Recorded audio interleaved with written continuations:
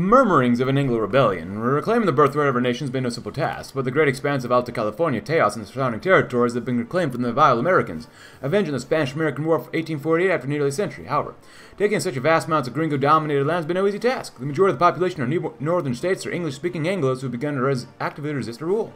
These Yanquis are well armed, well motivated, and well supplied by northern contexts, and as such, many within the regime fear that these former Americans will try to rebel against us given the chance. Let's keep an eye out on these scoundrels and snuff out any resistance before, grow, before it grows out of hand. The gringos will learn to accept our rule. Oh boy. Allowing resistance to get over 60% in any occupied territories will lead to rebellion. Oh crap. Also, I did take over the WCC because without us, they would have all died. Like, in all honesty, like, we are the reason why they, these guys survived and did so well, so I don't feel bad using consequence for that, but swooping eagles. Many are ad adversaries, most notably counter-revolutionary Central American countries like an air force, so we should focus on supporting our army from the air. We'll not be able to challenge the airports of the Entente, so we should focus on exploiting the weakness of our smaller rivals, deconstruct all French bombers. Using small aircraft, armed with nothing more than machine guns to destroy some enemy infrastructure and industry will be almost impossible. We need large aircraft with multiple engines to deliver large pay bomb payload to the enemy uh, Desert Acclimated Radar. radar, which stands for Radio Detection and Ranging, as a new method of detection which will be quite useful for the Air Force. With radar installations built to withstand the whipping, debris-filled winds of our northern expanse, we'll be able to detect incoming aircraft outside of the viewing distance so we can alarm our Air Force quickly enough. Sonoran Aerodromes. Our Air Force is constantly expanding, but airfields can't keep up. The capacity limits will soon be exceeded. And we found out that you can't take off an aircraft from the jungle. We'll need to expand airfields quickly. Sterilize the skies. We're not the only ones to build up an air force, far from it actually. Our air force will most likely be on the defensive. We have to face major uh, counter-revolutionary imperialist air forces. So we should aid them from the ground. And the crested Caracara's domain. The Mexican Air Force shall rule skies, well, skies of Central America at least. It'll stay, it'll take a while, quite a while until we can compete with the air forces of the Entente. Reorganize the North. Much has changed, of course, as I read earlier. Um, oh, this one. If you go into this again, please go ahead. Bohemia Problema. The Bohemia Poblana is a society group dedicated to promoting and disseminating culture throughout Mexico. He, the group organized, among other activities, poetic uh, recitals, exhibitions, conferences, promotion, and sponsorship of ma magazines, the publication of its diffusion organ, the magazine. The group has become famous for its monthly meal sessions in the city of Puebla. These sessions tend to invite famous guests of honor from the artistic and cultural world, from poets to authors to musicians and more. Interesting. our policy in the Yanqui women. The law on women differ between our nation and the former United States, differences that will have to be rectified in this new status quo we find ourselves in. Whether it be on the right to own property, the right to vote, or whatever else, the rights and laws of the northern women will have to be hashed out and legislated uh, to, or de-legislated to fit the needs and expectations of the new nation, our Mexico. So we'll see what happens with that. Also, so resistance is probably going up. Uh, actually, no, not too bad. Uh, it's still going up and around uh, that part of the Midwest up there near Michigan, whatnot, but whatever. Uh, a year ahead of time, but I don't really care at this point. Um, military police? Why not? Ease of conscription? Probably not, as we are justifying to go to war with these guys too. Um, some amount of manpower. It shouldn't take too long to go to war with them. Just another 100 days, you know, roughly 100 days, that's all.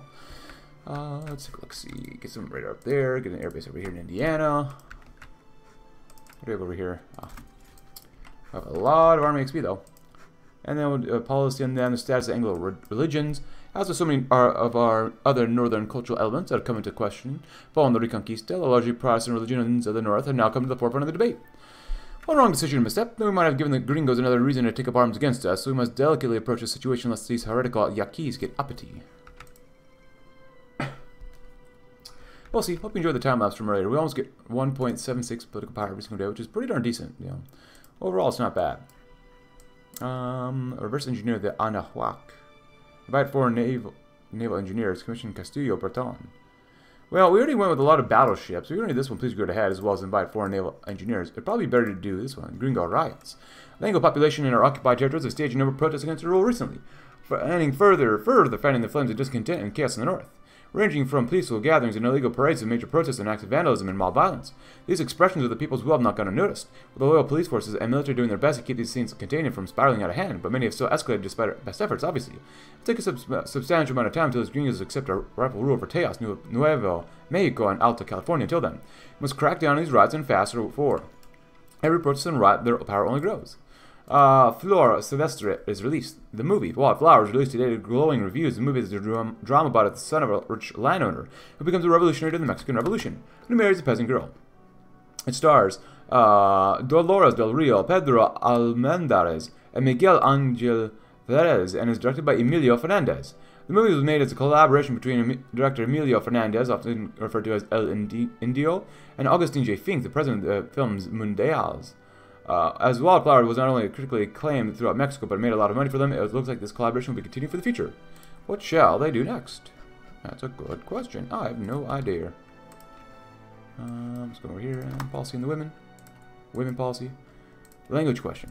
Mexico may have a multicultural, multicultural, multilingual past, but the fact remains the new Northerners speaking a tongue that is foreign from our own. As such, we must be free to conspire against us. Some hardliners claim we should introduce harsh sanctions on the English language, while the critics claim it will turn the Yankees further against us. We need to solve this debate and fast to set us on the course of integration.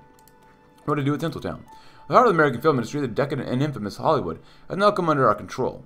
An economic paradise and cultural beacon as well as den of debauchery and sin, Hollywood is one of the most division as the most division acquisitions in the Reconquista. With just as many it to be burned to the ground as there are people calling for it for our own uses. As part of a larger reorganization for the Northern Territories, we'll have to decide what to do with it.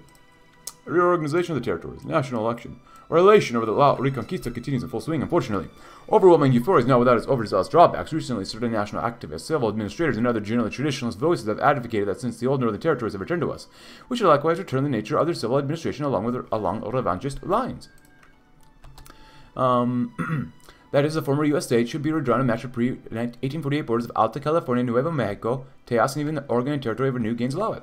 These conservatives argue that such a reorganization would centralize administration of the old U.S. states and streamline governance of the North while exalting Mexican pride and erasing the Estudio Unis colonialism over Mexico's ancestral lands. The progressive faction, meanwhile, dismissed those borders as vague even for the time and further denounced the scheme as archaic and practical and bound to outrage Anglos even more than ever.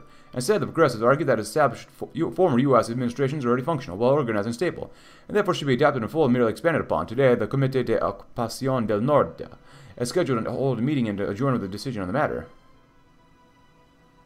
Expand on existing state apparatus? Where, well, actually, I don't know why I went with the conservative one. I probably should have went with the progressive one. I don't know. It doesn't really matter. In the end, don't really matter. Alamo question. Was Diaz now in possession of his rightful owner, the old Mission San Antonio de Valero, or Mission de Alamo, has returned to our hands, and for us, Alamo is a symbol of perverted holy ground, national humiliation, and wretched treason. However, for the Anglo-Texans, it persists as an enduring symbol of freedom. The question now stands, do we leave it be or do we tear it down? Gringo riots. Send in more police? Yeah. Our stance of the northern natives. Uh, the retaken territories of the north contain a lot of Native Americans from the Navajo and Pueblo to the Comanche and Mojave, who have now all come under control, however. Some of these uh, Indians are resentful of being yet another foreign country, while others are instead thankful to be liberated from Yanqui uh, oppression. We, however, still aren't sure to properly deal with them. A debate must we must not work out. So right now, overall, resistance seems to be dropping, which is nice. Central America is pretty small. Attacked by Anglo guerrillas. Bengal insurrectionists in the north have launched a full-scale assault against their occupation territories, their forces. Our garrisons and fortifications across the northern territories have been raised to high alert, with many already facing the Anglo guerrillas in battle. It seems like yet another battle flashpoint has sparked to life, spilling the blood of both Mexicans and Anglos alike as our forces are once more lock, lock antlers and fight to the death. We must push them back. A bona fide discovery. While on a paleontological dig in the northern Arizona with that spared no expense, paleontologist Charles L. Camp, along with Navajo naturalist Jesse Williams, made an exciting new discovery. Digging at the Kayenta Formation just 20 miles north of Tuba City on the Navajo Reservation, the group dug up three different sets of fossilized remains of a new carnivorous dinosaur. One skeleton was largely complete and intact, fossilized skeleton with only the front of the skull, parts of the pelvis, and some debris missing, while the other two were far more eroded and fragmentary. Taken to the University of California Museum of Paleontology for study, the specimen has been tentatively named Dilophosaurus. Dilophosaurus wetherilli, and describes a medium-sized predatory theropod hailing from the early Jurassic period with an estimated size around 2 or 3 feet long and adorned with a distinct two-point crest upon its head. Some even speculated it may have had a large frill and it was even venomous, but these ideas have largely been decried. The discovery has been hailed as a miracle of science after the recent chaos in America for such an atmosphere has made science hard to pursue. May this be a sign of better things to come. When an odd specimen, will surely deepen its knowledge some over time, perhaps even entertain the masses. But we gotta talk about the status of women in the territories. should be coming up soon, hopefully. Hopefully, hopefully, hopefully. Crest Caracas. Or Caracara. Well, maybe eventually, maybe not. We can still demobilize if we really want to, which we might. We need that political power. Uh, Okay, so Anglo women have taken to the streets and planned demonstrations, not against Mexican occupation, but for women's rights. While generally critical of Mexico's actions, suffragists have decided to make the best of a progressive government and thus petition Mexico City to succeed where Washington failed by officially extending Mexico's constitutional rights of women to the Northern Territories. Now's not the best time? Grant universal rights for all women. Uh, El Santo enters the ring. Today, the master wrestler El Santo has entered the ring for the first time, winning a royal bout against eight different other wrestlers using acrobatic kicks and throws that would become his trademark style. It's quickly become famous for refusing to remove the silver mask that has become his persona, the Silver Status of language in the territories. Uh, the majority of both the Mexican and Anglo populations do not speak each other's language, which is already sparking incidents of civil unrest in the northern territories and their border states like Baja and Sonora. While forcing the entire Anglo population to learn and speak Spanish would be impractical to say the least, perhaps some basic programs could at least assist our troops and settlers in the north. The principal subject of the session of the Comité is simple. From schools and government operations to restaurants and street signs, what will be the official language as used for everything within the Northern Territories? English, Mizapizum, bilingual? Espanol, that's right. Absolutely, even though the death of El Jefe. After a decade of heartbreak over the loss of his beloved Natalia and after the rigors of statecraft ground down his health and will, the beloved Plutarco Calles, or El Jefe Maximo, has finally given up the ghost.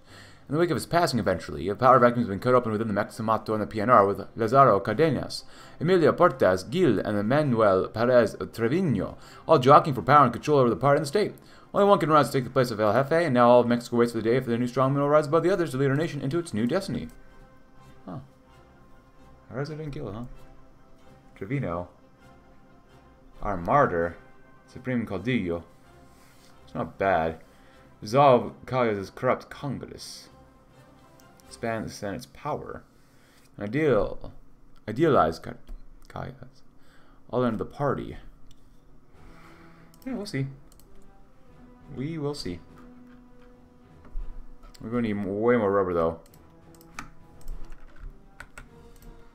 But we're working on it already, so not super concerned about that.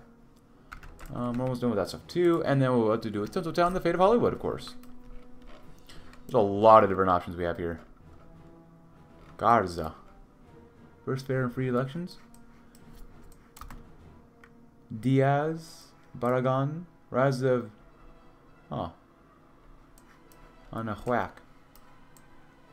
Alright, and there's stuff down here too. Recruit vigilantes. Establish guard Guardia Fronterizio.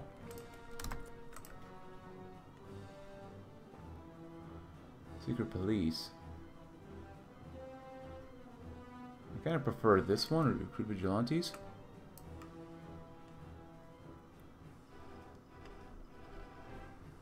I kind of prefer this one though. Establish Guardia Fronterizio. Um, but we should have uh, Fate of Hollywood coming up very soon, hopefully. Maybe not. How much book power do we get? 1.85? That's actually not bad.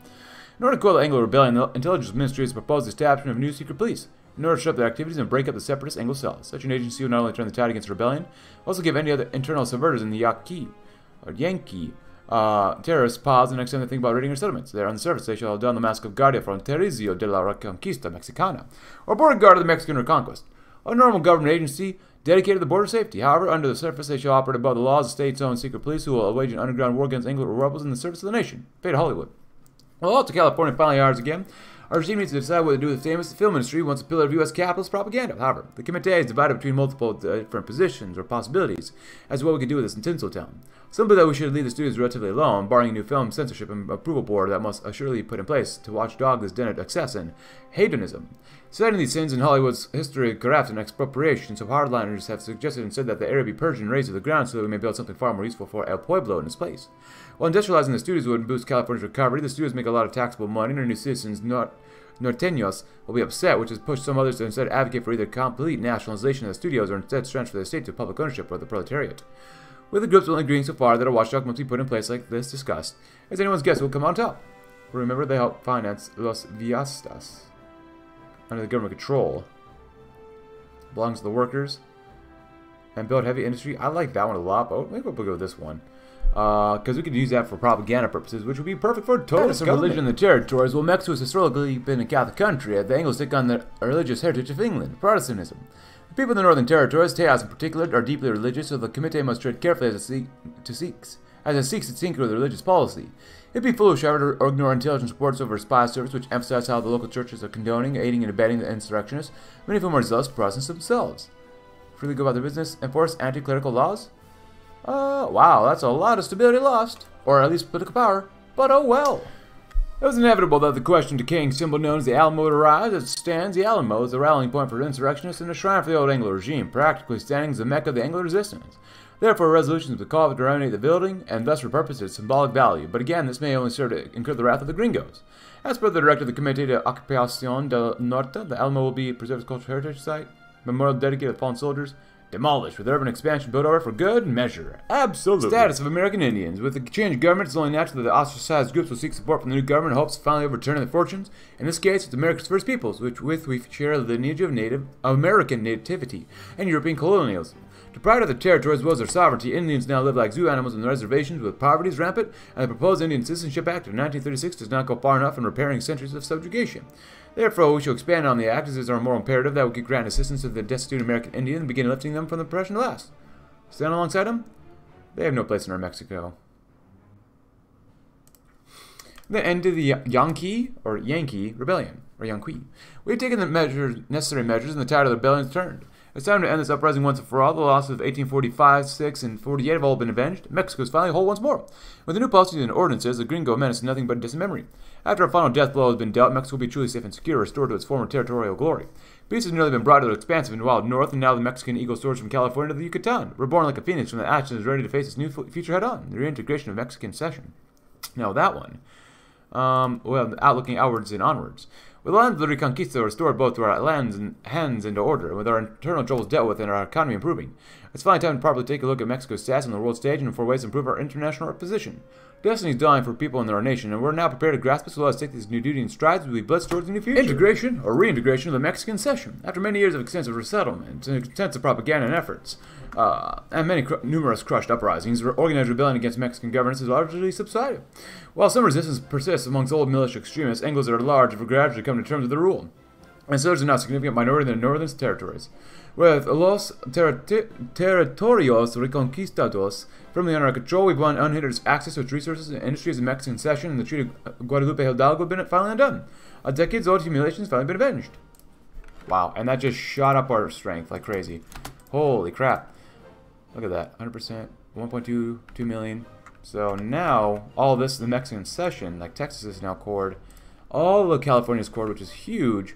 LA is cored. Uh, Nevada, Utah, New Mexico, Arizona, even this part of Oklahoma has been cored. Which is kind of nuts to think about, but whatever. 30 political power, not enough, but whatever. Uh, we'll come down here and grab this one. We'll grab you. Uh, that's pretty much it. We have right, Mexico's rightful place in North America, and that's pretty much it for us. Because we have no other expansion focuses available. Because we can't unite the cosmic race, unfortunately. We can't push our border claims, which sucks, because we did get quite a bit more. Bring the Philippines back into the Hispanic world, and the Sunset Invasion would be nice, but we can't do that, which kind of sucks, but whatever. Mexico's rightful place in North America. For far too long, Mexico played second fiddle to the other uh, powers in North America, but this legacy stops now. We shall rise and dominate the new worlds, dethrone the crumbling Americans from their long-held positions as hegemons of the Americas. Now it's time for Mexico to take its rightful place in the sun. now we can see if we can go to war with the United States of America. Emergency reserves call it up. We'll see what happens. But at the same time, we can conquer Central America from Mexico, which we kind of already have. Claim the Caribbean, which we could do, but we only get claims. And then bring the Philippines back into Hispanic world, which is kind of cool as well. So let's do that one first, I suppose. As long as these guys don't join uh, the Entente, we should be okay. They have up to 88 divisions, 20,000 losses, not bad. Um, our divisions are really, really freaking thick. They have a lot of manpower, though. Um, I did, this is the division we are using.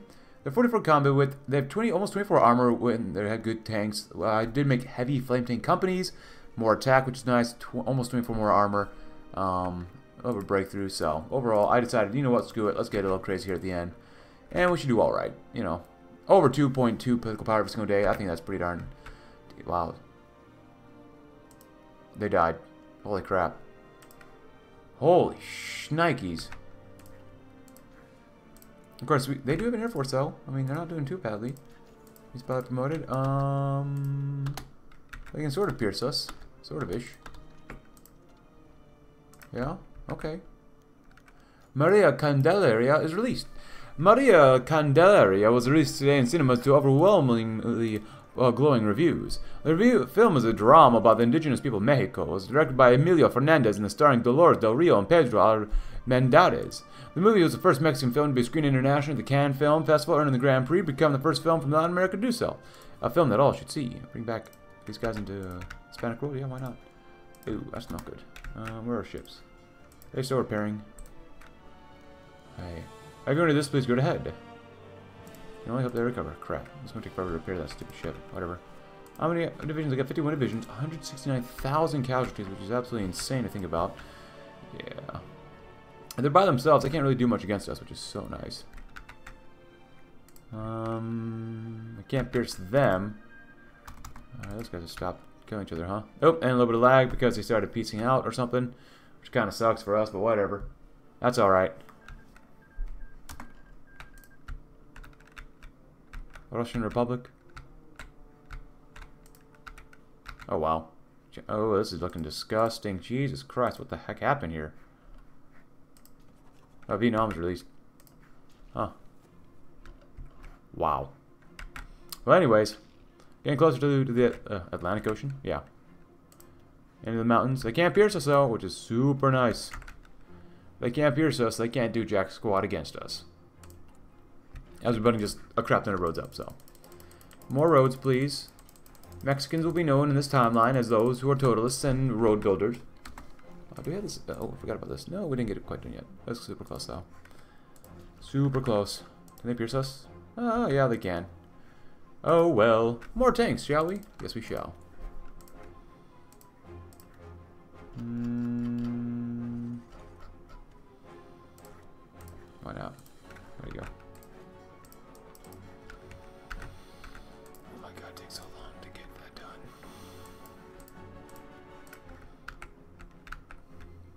There we go. Nice. That's even better, too. Over a quarter million losses for them. Nice, nice. Mal Mal.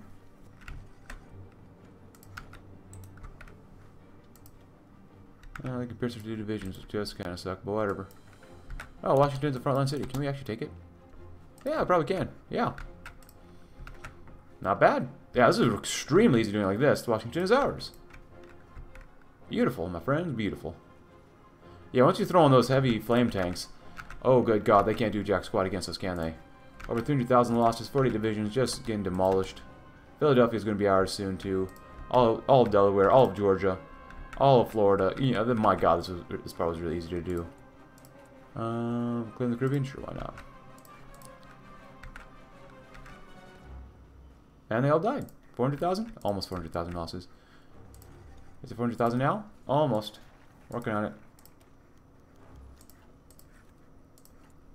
Cool. And now it's over 400,000. Yay! Fall Sydney. Looking pretty good so far, I'd say. Oh, yeah. Republic of South Africa. Going to take a while to get these guys, too. That's alright. Clean up some of these pockets. That'll be good. Oh, hello. No one's down there, huh? My god, that takes so long to do. But we're looking pretty good as Estado Maximo de Mexico. Looking pretty darn decent, not gonna lie. Um, there we go, do Hungarians. I don't think we'll ever get there, and I think we're pretty much done after we take out the United States of America, but that's alright. Infantry anti-tank, get some Mountaineers, even though we're not even using Mountaineers, whatever. That'd be alright with us. Claim American Pacific Holdings, you betcha. Oh, go to war with Alaska. Wait, what? Why do go to war with Alaska? Transmere Republic. And there goes America. I think we've done pretty darn well for ourselves, not gonna lie. Fight the Philippines? Well, I guess if we really wanted to, we could. But we don't really have to, so...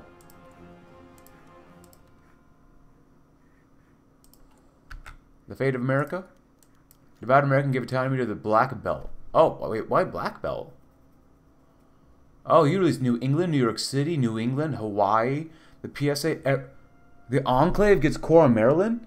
Wait, what? Oh, that's really cool. Divide Black America without the Black Belt. Liberate Socialist America? I'll get fight all these guys, huh? Well, we could if we really wanted to, but I don't think we will in this campaign. I think I'm pretty much done here. I think we've done extraordinarily well, especially for being by ourselves.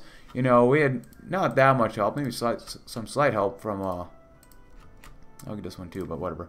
Pacto de Maxima Defensa, um, with a little bit of help from the Union of Britain, because I guess the French didn't want to help us out, so it is what it is. But hey, if you enjoyed this campaign, because I thoroughly did, leave a like, subscribe if you're new, check out my Discord link in the description below, and I'll see you tomorrow in another campaign. Thanks for watching. Have a great, great Mexican rest of your day.